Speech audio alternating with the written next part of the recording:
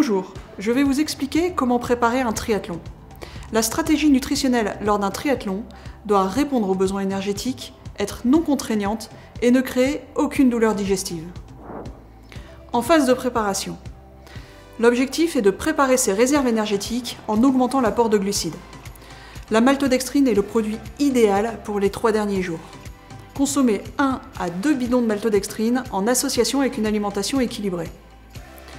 Votre dernier repas doit être pris 3 heures avant le départ. Il doit être riche en énergie et digeste. Je vous conseille par exemple un gâteau énergétique qui répond parfaitement à vos besoins. Pendant l'épreuve, l'objectif est de limiter la déshydratation, éviter l'épuisement des réserves énergétiques et compenser les pertes en sodium. Pour la partie natation, n'hésitez pas à consommer un gel 15 minutes avant le départ pour vous donner un petit coup de fouet. Pour la partie vélo, prévoyez des bidons de boissons isotoniques et glissez dans vos poches de veste des pâtes de fruits ou pâtes d'amandes pour prévenir la fatigue. Pour la partie course à pied, prévoyez des gels à raison de 1 à 2 gels par heure d'effort. Consommez un gel avant chaque ravitaillement afin d'y associer un verre d'eau pour faciliter la digestion.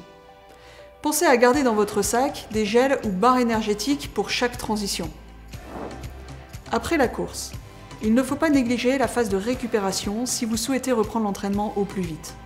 Elle a pour objectif de compenser les pertes en eau, en glucides et d'apporter des protéines pour les muscles plusieurs façons de le faire.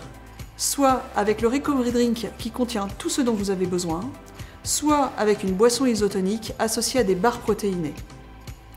N'oubliez pas de tester les produits lors de vos entraînements pour éviter toute surprise pendant vos courses. Si vous souhaitez en savoir plus, n'hésitez pas à regarder les autres vidéos ou rendez-vous sur notre site Aptonia. A bientôt